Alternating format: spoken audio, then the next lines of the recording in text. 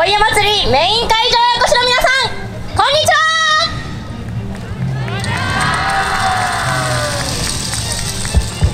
私たちよさこいの本場土佐の国からやってまいりました高知学生旅芸人です。さあさあ踊り子。今夜1日目一発目の演舞です。会場を盛り上げる準備できてますか？それでは参りましょう。旅するクジラよ前踊れよろしくお願いします。